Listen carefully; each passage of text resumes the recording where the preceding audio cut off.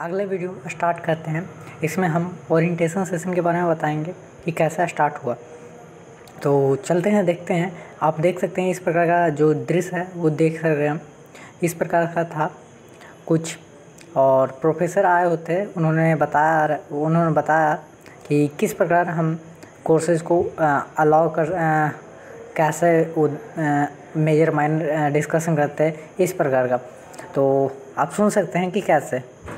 सो so, हम बताना चाहते हैं कि यहाँ का जो माहौल है बहुत अच्छा। अभी तो इतना ही देखने को मिला सारे ही क्लास में सारे अच्छे थे। So you can join Niger facility I will all detail detail share this channel so you can join this channel तो चलते हैं देखते हैं कैसा रहा classroom teaching and LW is lab work. So as I said, uh, you have bio uh, 101, some chemistry 101, maths 101, physics 101. This four courses, uh, three CRT, three CRT, three CRT, meaning three classroom, three hours of classroom teaching per week. Uh, I know there are some parents who would be like. Uh, who would be worried seeing this cluttered slide with so many courses do not really panic they are just need they are needed to spend 3 hours per course per week.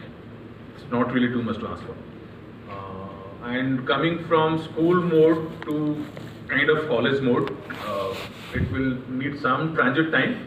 And i'm sure students know you know how to, how to make transit from that mode to this mode. Uh, then there's technical communication one and introduction to economics would be your perspective building courses for the first year.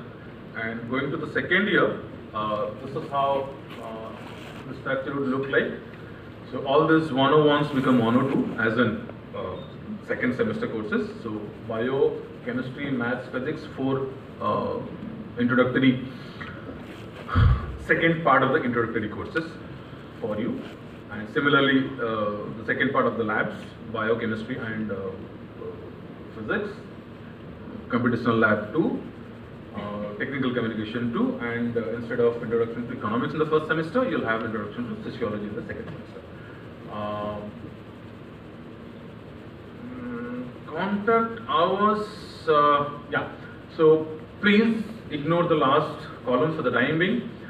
This hours also take into account your preparation for the class, your your uh, homework, your preparation for the exam. So this might be a very misleading number for the time being. But as I said, many numbers are for us to maintain uh, in the academic administration part of uh, the